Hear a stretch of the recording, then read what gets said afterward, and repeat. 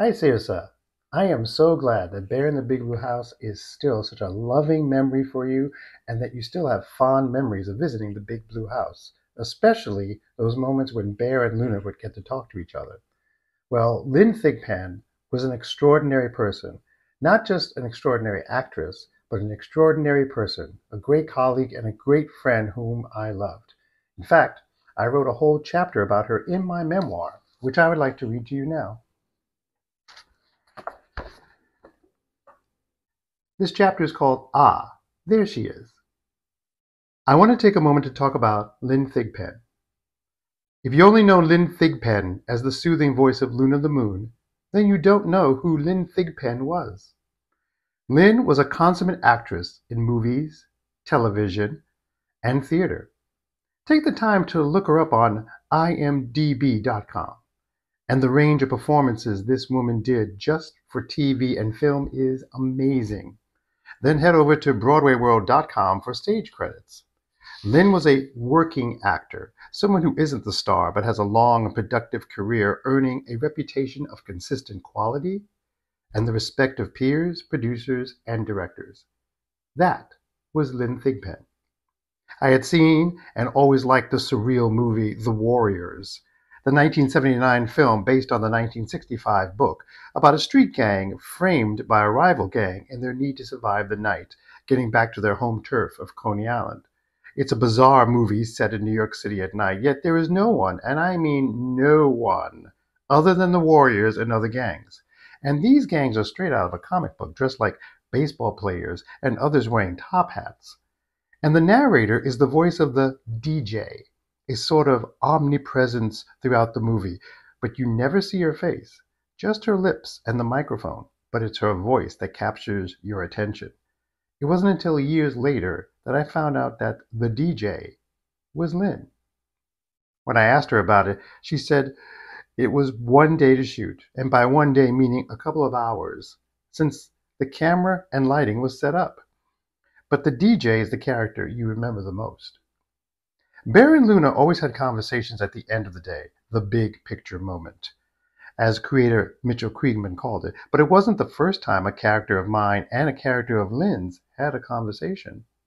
When I worked on the PBS series The Puzzle Place, my character was Leon, a precocious seven year old from New York City. Once, when we did a remote shoot of Leon at his school's science fair, three little girls asked me how old Leon was supposed to be. Seven, I said. No, they said having seen the show. He's nine. He acts nine. As a dad, I now realize what they meant. In the episode I wrote titled The Mystery of the Fabulous Hat, Leon decides to solve the mystery of the missing hat just like his hero Sherlock Holmes. The caretakers of the clubhouse, the Peace Police, even dress him up, deerstalker hat and all. His best friend Ben, played by one of my dearest friends, Jim Martin, wants to help. So Leon hires Ben to be his Dr. Watson the Peace Police accommodate with an appropriate outfit for Ben. But when Ben does a better job of finding the clues, Leon's ego gets the better of him and he fires Ben. Now, working alone, Leon can't find any clues and needs advice. The puzzle place had this contraption called the Weebus, a huge computer with a large screen capable of contacting anyone in the world for a video chat. Before Zoom, there was the Weebus. He goes to the Weebus and says, Weebus? And yes, before Alexa and Siri, there was the Weebus. Weebus, please call the chief of the Acme Detective Agency. Instantly on screen pops up the chief, herself, from the PBS series Where in the World is Carmen Sandiego? Played, of course, by Lynne Thigpen. The chief then explains to Leon that sometimes everyone, including detectives, needs help. She remembers her first case and she needed help and called for some just in time. Who was it? Leon asks. I just told you, she replies, just in time. Did I mention that I wrote this episode?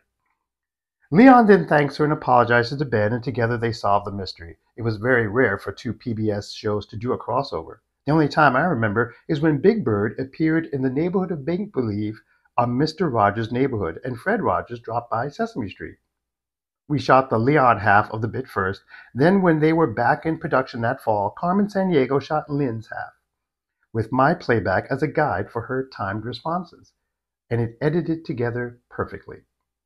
So, how did this consummate actress of stage, screen, and television become the moon? Well, first, Mitchell Kriegman called me and asked me what a good name for the moon would be. Immediately, Luna popped into my head. When he was casting the voice of Luna, I instantly recommended Lynne, remembering her as the Chief and the voice of the DJ from the Warriors. I told Lynne about her Chief's chat with my Leon when she came to the audition, and she remembered. We sat in an office at the Henson Townhouse and read one of the chats that occurs at the end of the show, and that was it. Mitchell and I both knew that this was not just the voice, but the essence of what you'd imagine the moon would be talking to you. That tone of warmth and wisdom you'd expect from an entity that has literally seen it all. Lynne and I would meet at a recording studio and record six conversations for six upcoming episodes at a time. I loved the time of those recordings because I got to have my own chats with Lynne and not just about show business, but what was going on in her life, like the noise from the limelight, the church converted into a nightclub in the Tribeca section of Manhattan, and right across the street from her loft, Friday and Saturday nights being the worst. On Bear, we'd shoot six episodes in two weeks. The parts of each episode for Shadow's stories and the end of the show for the chats with Luna were all reserved for the Friday of the second week, dubbed Chroma Key Day what you now know as blue screen and green screen. Lynne and I would record Bear Luna's lines prior to this. On that Friday, all the shadow stories with shadow shot against blue screen, and in the afternoon, move over to the attic set and shoot all the endings with Lynne's voice played back. Once, due to scheduling, we couldn't get to the recording studio, so Lynne came into the studio and said the lines live, while Peter Linz lip synced with the moon in real time. Not an easy task, even after rehearsing. Bear in the Big Blue House wrapped production in March of 2002. Lynne Thigpen died suddenly on March 12, 2003, of a cerebral hemorrhage. I was invited to speak at the memorial held for her at the Cherry Lane Theater in Greenwich Village. Many people took to the stage to reflect on Lynne and her contributions to acting and stories about her. The best was from Michael E. Knight, who portrayed Tad the Cad Martin on the ABC daytime soap opera All My Children. I was the last speaker. I took to the stage to introduce the clip of the final show of Bear. The premise, which I suggested for the last show, was that Bear's friends think he's leaving, and they want to show him how much they appreciate him and do a grand This Is Your Life type of song called Thank You Bear. It turns out to be a misunderstanding, and Bear won a contest and gets to take five of his friends to stay at the Grand Sequoia Lodge in Sequoia City. The clip was from the last scene of the show with Bear stepping out onto the hotel room's balcony. What a coincidence. And sees Luna, who's surprised to see him not at the big blue house. He explains what happened, and she tells him how nice that he feels so appreciated.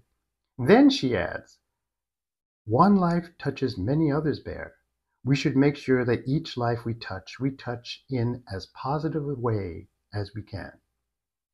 We don't often want something good and wonderful to end, like a beloved TV show or even a gifted actress, and we look for a huge reason behind it as comfort, but it just happens, just because.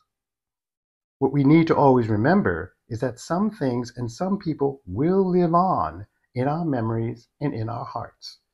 And as Luna said, we should make sure that each life we touch, we touch in as positive a way as we can. Lynne Thigpen did that in so many ways. Thank you for the chats, Lynne. And thanks for listening, Saoirse.